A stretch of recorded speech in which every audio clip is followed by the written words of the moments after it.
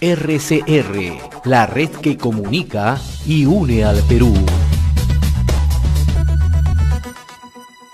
Vamos a dialogar a esta hora, estamos en contacto y agradecemos eh, su atención a la señora Susana Saldaña, que es presidenta de la Asociación Empresarial Gamarra Perú. Muchas gracias por este contacto, buenas tardes. ¿Cómo estás, Lizardo? Muchísimas gracias por el espacio. Sí, bien, eh, este, el COVID-19, como sabemos, la pandemia ha afectado a todos los peruanos de todos los sectores y los empresarios y las pequeñas empresas pues no, no han sido ellos tampoco a quienes no la puede afectar esta situación. Queremos preguntarle si Gamarra ha podido regular o ya recuperar este dinamismo comercial que se ha conocido de este emporio. Mira, llevamos un año prácticamente paralizados en nuestro proceso de recuperación que apenas hemos llegado al 50% del número de empresas que trabajaban antes de la pandemia. En los porcentajes de venta apenas eh, llegamos al 40% de los porcentajes de venta comparando con las cifras prepandemia del 2018 hacia atrás, tomando en cuenta que el 2019 fue un año bastante difícil, que tuvimos muchos cierres entonces, eh, lo real es compararlo con el 2018, ¿no? Ese proceso de recuperación aún es bastante lento. ¿Y eso qué implica? Que si Gamarra no logra recuperarse al menos a las cifras prepandemia, la industria nacional sufre las consecuencias. Una industria que genera un millón de puestos de trabajo, y al cual 500 mil peruanos no han podido recuperar su trabajo en toda nuestra cadena productiva. Y eso es lo preocupante porque Gamarra y toda nuestra industria ha tenido que soportar no solo el embate de la pandemia, sino otras cosas que, que cada día nos llevan a una situación más complicada, como por ejemplo la invasión de la ropa china y la ropa asiática en general. Una invasión tan desmedida en el mercado que nunca se ha visto en la historia. Casi el 97% del mercado peruano está invadido de ropa importada y nuestros productores no tienen espacio para poder salir al mercado y vender sus productos y ofrecer sus productos y el cliente decidirá a quién le compra. Pero ya no existe porque no hay igualdad de condiciones. Adicional a ello, nuestros micro y pequeños empresarios sobre todo microempresas, que son el 90% del tejido empresarial, no solo de Gamarra, sino de todo el Perú, no han accedido a créditos como Reactivas, a EMIPE, porque las condiciones nunca se tomaron en cuenta la realidad de las mismas y que nunca tenían, nunca tuvieron espalda financiera para soportar una crisis como esta, ¿no? Y adicional a ello, como si eso no fuera poco, los conglomerados donde nos desarrollamos como Gamarra, eh, Villa El Salvador, entre otros, pero por ejemplo en el caso de Gamarra estamos invadidos de comercio informal, que se llevan el 40% de la poca venta que hay y que alimentan a mafias que amenazan y, y arremeten contra los empresarios formales. Y es lamentable, ¿no? Toda esta situación porque Gamarra, este emporio importante, aporta una buena cantidad de millones de soles al erario nacional y también podemos decir el aporte que tiene de impuestos a la municipalidad de La Victoria, eh, los empresarios formales, ¿no? Y si el gobierno no pone coto, por ejemplo, a este dumping chino, ¿no? Que sigue eh, relegando al sector textil, sobre todo a los industriales de Gamarra, entonces esta situación se va a empeorar. En ese sentido, eh, Quería consultarle, señora Saldaña, que ustedes van a seguir con esta protesta. Ustedes han anunciado incluso una marcha hacia Palacio de Gobierno. ¿Sigue firme esta medida? Sí, claro, seguimos firme en nuestra decisión, en nuestras medidas, dado que el gobierno pues, no ha dado ningún indicio de mejorar la situación en nada, ¿no? De todo esto que te comento, el gobierno tiene conocimiento desde el inicio de su gobierno. Es más, el presidente Castillo, en plena campaña, prometió aplicar salvaguardias, no sabemos cuándo. Nos preocupa también el actuar del ministro de la Producción. ¿no? Nunca nos ha pasado que un ministro de la Producción actúe en contra del productor peruano, como por ejemplo votar en contra de la aplicación de salvaguardias. Y hasta el día de hoy no han generado ni una sola medida, ni han logrado un sol de presupuesto por ejemplo, para las compras Mi Perú, que es otro de los pedidos de los confeccionistas, los talleres, los que hacen servicios que es la única forma y el único programa a través del cual ellos pueden venderle al Estado. Es más, el único, la única que ha logrado ahora venderle al Estado es la esposa del viceministro actual. Parece que para ella sí han podido trabajar y lograr que le venda al Estado, pero no han logrado presupuesto para las compras de las MIPES.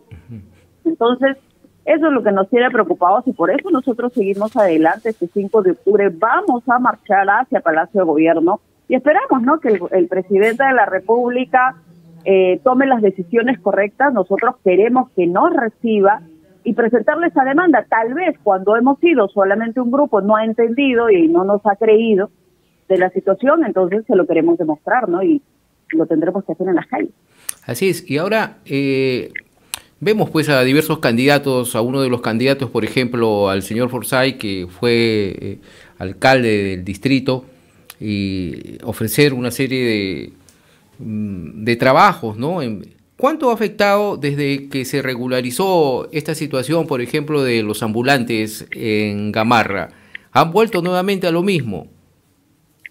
Es que nunca se fueron. Nunca se fueron. Yo le pido a los limeños, no voy a hablar, eh, nosotros no hacemos proselitismo político, no voy a hablar ni en contra ni en favor de ningún candidato, pero si quieren, todos los limeños, dense una vuelta por la victoria, dense una vuelta por Gamarra y verifiquen si de verdad lo que les están diciendo es así. En Gamarra las cosas nunca han cambiado, las calles están absolutamente invadidas de ambulantes, de mafias que nunca se fueron, encerraron a la gente y nunca le dieron ninguna solución, porque si hubiera habido solución la situación no estaría como está, ¿no? Bueno, y es más, como ustedes saben, nos abandonaron a nuestra suerte por aspirar algo mejor. Nosotros no éramos suficientes, no llenábamos las expectativas de la, del exalcalde, por lo visto, y quería un cargo más grande, ¿no? Entonces, eso lo hubiera pensado antes de postular a la victoria, pues hacernos perder el tiempo. Ahora, señora Saldaña. nosotros, eh, los gamarrinos, la gestión del señor Forsyth ha sido como un latigazo y nos ha golpeado tanto o más que la pandemia. Así es. Ahora, en cuanto a la situación de los pequeños empresarios, medianos o pequeños en Gamarra, de los que están en esta en este emporio, ¿Hay ya eh, empresas que han quebrado, están por quebrar? ¿Cuál es la situación? Por supuesto, lo que te comentaba hace, hace un momento, ¿no? El 50%, no solo de los micro y pequeñas empresas de Gamarra, de toda la cadena productiva nacional, estamos hablando de 50 mil micro y pequeñas empresas, no pueden salir de la quiebra, no pueden reactivarse completamente, no pueden recuperar el medio millón de puestos de trabajo. Y eso afecta, por supuesto, no solo a la cadena productiva, no solo a Gamarra, afecta al país. A cada familia peruana le afecta. ¿Por qué? Al menos una persona de cada familia peruana trabaja y tiene que ver con nuestra industria. Entonces los peruanos les pedimos eso, ¿no? Miren a su familiar, miren a los costados, miren adentro de sus núcleos familiares. Una persona de su familia corre en riesgo de desaparecer su puesto de trabajo. Y para que sigan engrosando las calles, eh, llenando de informalidad y las filas del desempleo. Ahora, dentro de este pedido eh, que están haciendo ustedes al gobierno, bueno, nos ha comentado la implementación de salvaguardias. ¿Qué otros pedidos directamente están exigiendo, señora? Inmediatamente la aplicación de salvaguardias y la subida al 30% de, de aranceles, que no es una locura. Colombia y Brasil tienen lo mismo porque tienen industria. Entonces, tampoco nos estamos yendo ni siquiera tan lejos. Eh, segundo, créditos baratos garantizados por el gobierno para las MIPES. De la misma forma que le dieron a la mediana y gran empresa y le salvaron de ir a la quiebra, lo mismo estamos pidiendo para las micro y pequeñas empresas para que ellos puedan recuperarse, salir de la quiebra y volver a eh, emprender sus negocios y poner a funcionar la rueda de la economía nacional. ¿Qué estamos pidiendo? que el gobierno destine el presupuesto que es su obligación y no un favor, que cumpla con la ley del 40% para las compras del Estado y que lo designe a través de los núcleos ejecutores para que las micro y pequeñas empresas puedan acceder a estas compras. Adicional a ello, estamos pidiendo que se nos garantice el orden y la seguridad. Como tú lo mencionabas, Gamarra, solamente Gamarra le paga mil millones de soles al año y ni siquiera tenemos un servicio eficiente de seguridad. ¿Qué queremos? Policía aquí todo el tiempo que nos ayude con, a erradicar las mafias, a llevarlas a la cárcel. y que nuestras calles estén limpias y seguras para nuestros clientes y para que nosotros podamos desarrollarnos. Finalmente, que cambien el ministro de la producción, porque de lo único que lo conocemos es que ha, contratado a su sobrino y que tiene un viceministro que ahora su esposa vende contratos millonarios al Estado. Nosotros no necesitamos ministros así porque encima de todo, el ministro de la producción, que se supone que es de nuestro sector y nos debe defender, vota en contra de las salvaguardias. Deberían hacer un ministerio de los importadores y que el señor vaya a dirigir ese ministerio. Ahora, para que tenga conocimiento nuestros oyentes y televidentes que nos escuchan pues en diferentes partes del país, Gamarra, eh, ¿a cuántos eh, comerciantes congrega? ¿Y a cuántos trabajadores? Gamarra, en Gamarra trabajamos aproximadamente 100.000 familias.